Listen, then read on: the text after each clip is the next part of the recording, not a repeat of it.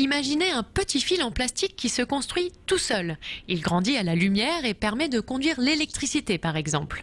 Eh bien, cette prouesse technique a été réalisée par un laboratoire du CNRS à Strasbourg. Les limites de l'infiniment petit ont ici été repoussées. On parle de nanofibres plastiques d'un milliardième de mètre. La recette semble simple, mais résume à peine trois années de recherche. Des électrodes en or, des flashs et une sorte de soupe de molécules sont utilisés pour faire grandir ces fibres, des molécules modifiées de triarylamine.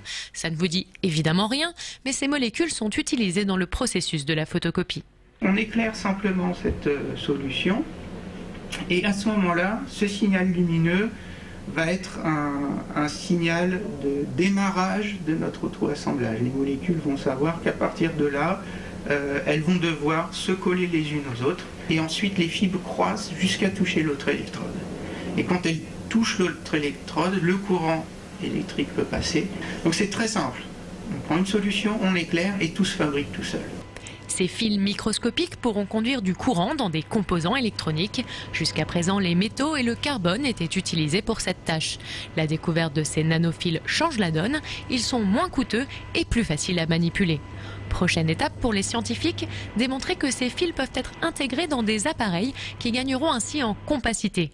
L'un des marchés pourrait être l'énergie solaire. On peut imaginer de miniaturiser les circuits électriques de cette manière.